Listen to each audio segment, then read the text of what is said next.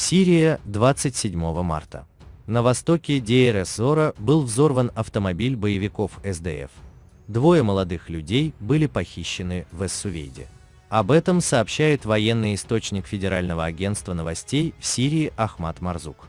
Смотрите до конца. Текущая расстановка сил в Сирии. Провинция Дейр-эс-Зор.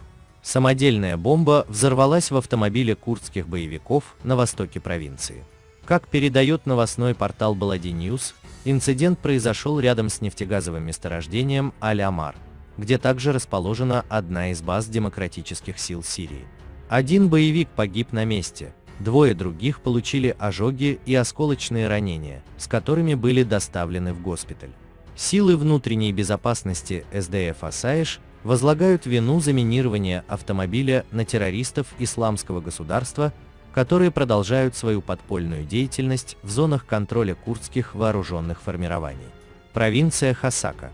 Два сотрудника сил внутренней безопасности демократических сил Сирии погибли в результате ДТП в деревне Сальхи. Как сообщает портал Алк-Хабаур, столкновение произошло на перекрестке, когда патрульный автомобиль курдских боевиков выехал на дорогу перед микроавтобусом.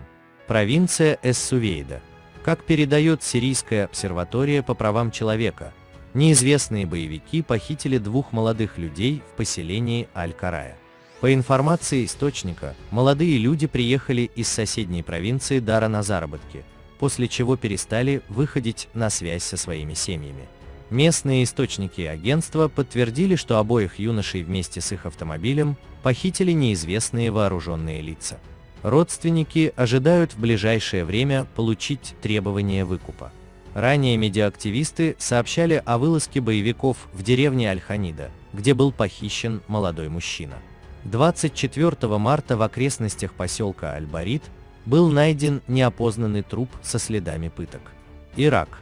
Как передает телеграм-канал Директат, американские военнослужащие продолжают вывод своих войск из Ирака.